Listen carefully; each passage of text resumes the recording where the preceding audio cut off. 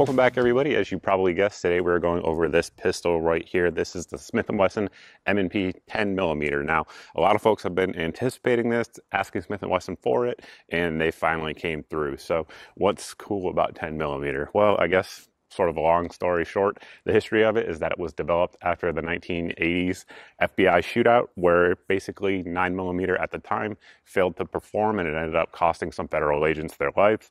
And the FBI went out and wanted a better caliber. That led to the development of 10 millimeter, and Smith & Wesson, of course, back then made the most common 10 millimeter pistol for it. And then eventually some of the agents had a hard time controlling the recoil of it. So they downgraded it to 40 Smith & Wesson, which is essentially just a neck down, or rather a shortened case of the 10 millimeter. So 40 Smith & Wesson was popular for about 15, 20 years. And nowadays 9 millimeter has kind of taken that role back because of advancements in, in ammunition manufacturing. The good news is those same advancements also apply to current 10 millimeter loadings. So what you're getting here is going to be a pistol that is capable of doing a lot of different things, self-defense, hunting, recreational shooting, etc. So um, with that, I suppose we'll get into the details of the pistol, walk you through it tip to butt, and then at the end we'll let you know how it's performed and what I think of it overall. Before we continue on, I want to thank the sponsor of today's video, and that is NAGR, the National Association for Gun Rights. Right now, they're giving away this very armored scout vehicle that I'm sitting in obviously it's very cool. Obviously they're out there uh, doing the good work every day to preserve our Second Amendment rights and get back the rights that we've lost over the years as well. Uh, if you want to sign up for the giveaway and support NAGR, there's a link down below in the video description. Again, thanks to them for sponsoring the video. Let's get on with it. I think I just lied to you. I said that we're going to go tip to butt. We're not. We're going to go butt to tip. So in order to do that, we're going to first uh, drop our magazine. We do have our magazine release button here. It is not ambidextrous. However, it is reversible. If you want to reverse it, you can do so and put it over here on the right side of the pistol. But we're just going to press that. Magazines drop free easily. They are metal magazines, 15 round standard capacity. Uh, Smith & Wesson marks their magazines by their followers. So that way this one has obviously a yellow follower. If you have an M&P 45 mag, it's going to look identical except for the follower, so that's an easy way to tell the difference. Of course, it's also marked there up front. Now we're just going to make sure that our pistol is clear. It is, so we're free to go forward. Um, first off, let's talk about the grip texture on there. It's fantastic. M&P 2.0 grip texture is awesome, um, but it really plays a role when it comes to 10 millimeter because you really want to get a good grip on that gun, and it definitely helps because of the recoil, added recoil rather, of the 10 millimeter round. Another thing that helps with that is a pretty low bore axis. M&Ps are pretty darn low, and the beaver tail there lets you get up high on the pistol and the higher you can get, of course, the more manageable the recoil becomes. Um, it's definitely not a bruiser by any means, but it definitely kicks more than, say, the M&P 9, of course. So uh, any little bit you can get to help control and manage that recoil, I will take it. We do have these little cutouts here on the bottom, so that way if you get a double feed, it makes it easier to strip and rip the magazine out of there that you may need to do. Additionally, our grip size is interchangeable, these little back straps. So in order to do that, you just twist this piece here on the bottom, pull it out. This is also a disassembly tool that we'll talk about here in just a second. And then just pull out on your insert and it comes with four different inserts from small to large. You can set it up however you want to fit your hand. We have the medium one in there and uh, for me with large hands it's been fairly comfortable.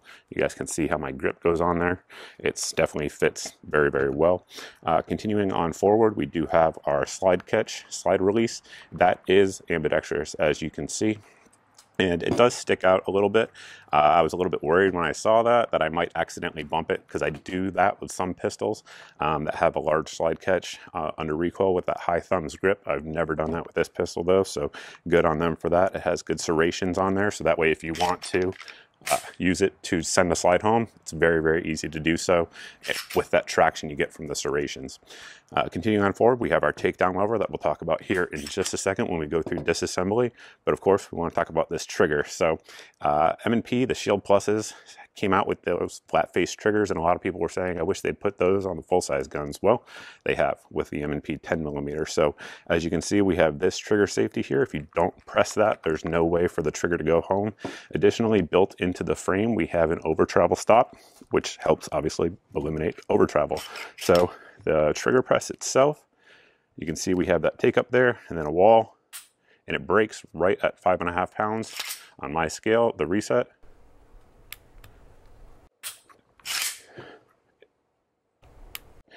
It's there, it's tactile, it's audible, it's not as strong as what you'd get with, say, like a Glock.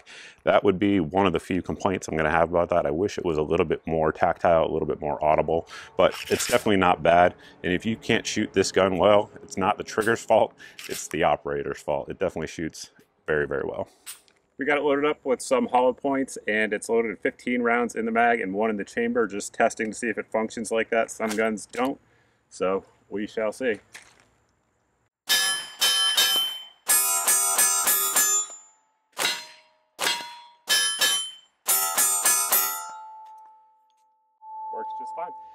Continuing forward, you can see we have a 1913 rail on there with three different rail slots, so you can set your light and laser up how you want to. It gives you a good bit of adjustability there.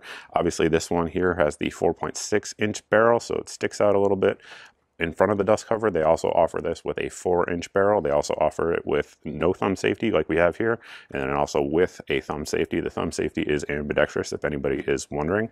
Over here on the right side of the pistol in the dust cover, we do have our serial number and it's a steel plate that's inserted in there. You can't get it out, even if you wanted to. I don't know why you'd want to, but if you wanted to, good luck with that.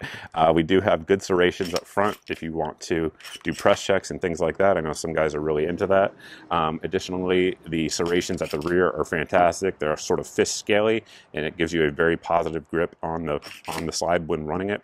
Our sights on all four models are going to be steel, and they're suppressor height sights. Uh, all of these M&P 10s are optics ready, so it comes with their opt optics mounting system. This one, of course, is a prototype actually. Uh, Holosun primary arms with their ACSS reticle on there, but it does fit on a Trijicon RMR mounting plate, and it comes with all the different mounting plates for all of your common optics out there. I don't know of any that wouldn't work with this particular system. Uh, some folks don't like optics mounting plates. But I think for the vast majority of people, you're never going to have an issue with them, uh, particularly this one here, because the screws itself do go into the steel in the slide. Um, some of them out there don't have that, but this one does. And of course, it hasn't moved on me at all. It's held zero. We haven't had any issues. Getting into disassembly, first thing, of course, we're going to make sure that we are clear. We'll lock our slide to the rear. It is clear. At this point, you can rotate our lever down and either send the slide home and press the trigger, or for folks that don't want to press the trigger for whatever reason, uh, you can remove your takedown tool here. And it's probably very difficult to see on camera, but there is a little sear disconnect lever in here. It's got that yellow paint on it. You can probably see it now a little bit better. But when you send that forward, it's the same thing as pressing the trigger. Obviously, like I said, it's a sear disconnect. It does the same thing. Uh, and then take out our guide rod. You can see there it is all steel, which I know a lot of folks dig. And then we have our barrel as well with a uh, polished feed ramp for feeding hollow points. The vast majority of rounds that have gone through this gun have actually been hollow points because that's just what I have in terms of 10 millimeter ammo, the most of it anyway. But the barrel is going to be nitride. It has that nice crown out there at the end. You can see some wear but that's completely normal just for normal use. But the beauty of nitride finishing for folks that don't know is that it actually gives you uh, good corrosion resistance, uh, lubricity, and even if it's showing wear, it actually penetrates into the metal itself. So it's the properties are still there even on the worn spots. So reassembly, of course, is going to be the same thing in the opposite order. You'll note there that our um, striker and striker safety there are polished on there to help with the trigger pull. And then one thing that's nice about the M&P 2.0 series is going to be that we have added steel versus the early ones here and here. And what that does is it helps reduce the torque on the frame when it's firing, just makes it a little bit more controllable overall. But yeah, reassembly, same thing, just in opposite order. At this point in the video, we've discussed most of the important points about the pistol. One thing I left out is that the actual frame size itself is the same for the Smith & Wesson 2.0 45 series. So that way, holster availability is very, very good out there. Um, the one I've been using is from We The People holsters. It fits it just fine. We'll drop a link if you guys are looking for it, as well as a discount code in the video description. But there's a ton of holster options out there if you're looking for that. So that's one thing that's good. A lot of times with new guns, that's an issue. Not the case here. Speaking of new guns, as of when I'm making this video, these have been sent out to folks like me for reviews, but right now they're not available for sale. I'm guessing that's going to change extremely shortly. By the time you guys are watching this video, that may be the case? And if so, we'll have a link in the video description if you guys want to pick one up. But right now, the MSRP, depending on the model, it varies, but it's going to be in the mid $600 range. And street price, of course, is just going to vary depending on demand. But for an optics ready pistol from a very reputable company like Smith & Wesson, I think that's a perfectly fair price. And in terms of performance, how has mine performed? Well, accuracy has been phenomenal. Like I said, the vast majority of what we put through it has been match grade hollow points. Um, unfortunately for me, because those are more expensive, but it is what it is. And reliability, we put just over 400 rounds through this gun. It had one malfunction. It was with PMC, some FMJs.